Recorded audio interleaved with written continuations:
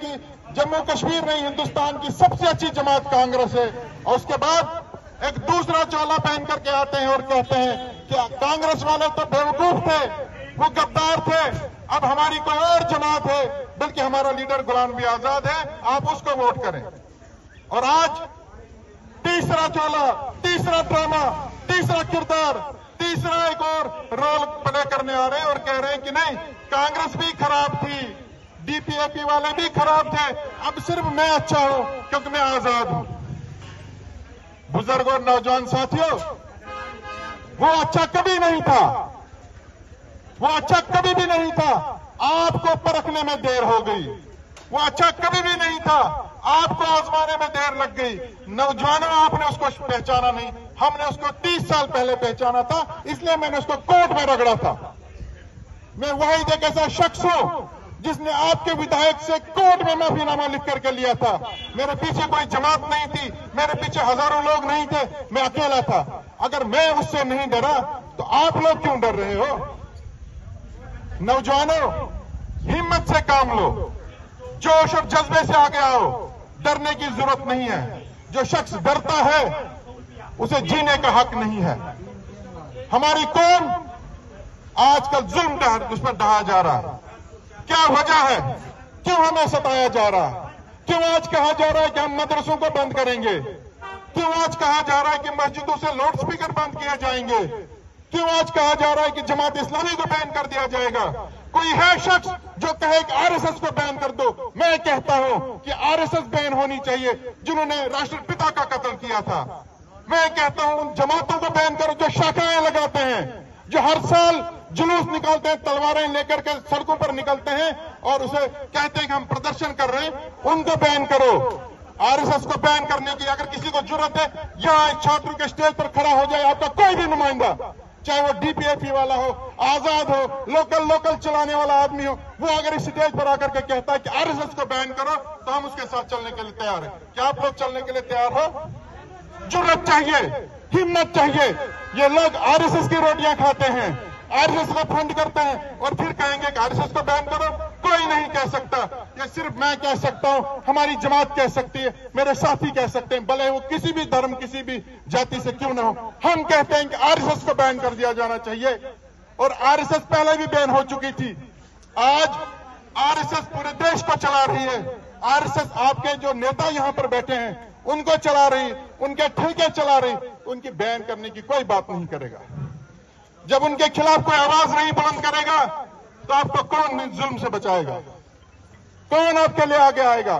ठेकेदार? ठेकेदार को अपनी सरमाया का ध्यान होता है। अगर कोई ठेकेदार सियासत में आकर के ऊँची ऊँची बातें करेगा, उसके काम बंद कर दिए जाएँगे, उसकी पेमेंट रोकी जाएगी, उसकी गाड़ियाँ डंपर बंद कर दिए जाएँगे। मैं एक छोटी सी मिसाल दूँगा। बहुत सारे नौजवान मुझे ऐसे मिले जो मुझे ये कहते हैं कि जनाब हम आपके साथ हैं। आप हमारे भाई हो, हमारे साथी हो, हम आपके साथ चलेंगे, लेकिन हमारी पेमेंटें फंसी हैं, हमारे काम फंसे हैं, इसलिए हम आपके साथ नहीं आ सकते, लेकिन वोट हम आपको करेंगे। तो जब उनकी ये मजबूरी है तो जो आपके लीडर हैं, क्या उनकी ऐसी मजबूरियाँ नहीं होंगी? उनके भी तो काम सरकार के पास फंसे हैं, उनके भी तो भारतीय जनता पार्टी के बड़े बड़े मंत्री और एमपी के साथ काम फंसे हैं, वो आपका साथ कहाँ से देंगे? इसलिए नौजवान साथियों मैं आपसे मुखातिब होता हूँ। आप अपने मुस्तकबिल का फैसला खुद करें। आज ग्रेजुएट पोस्ट ग्रेजुएट नौजवान हमारे दरबदर हैं। आपके मुस्तकबिल का फैसला एक ऐसा आदमी नहीं कर सकता जिसने कभी कॉलेज नहीं देखा है। आपके मुस्तकबिल का फैसला ऐसा शख्स नहीं कर सकता जिसने कभी यूनिवर्सिटी का दरवाज़ा नहीं देखा है। उसको क्या पता ग्रेजुएशन करते वक्त कितनी मेहनत करनी पड़ती है?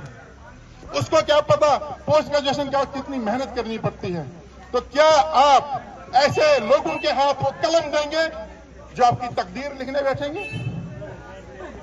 एक और शख्स कुछ सालों से यहाँ निकला है और कहता है कि मैं लोकल हूँ।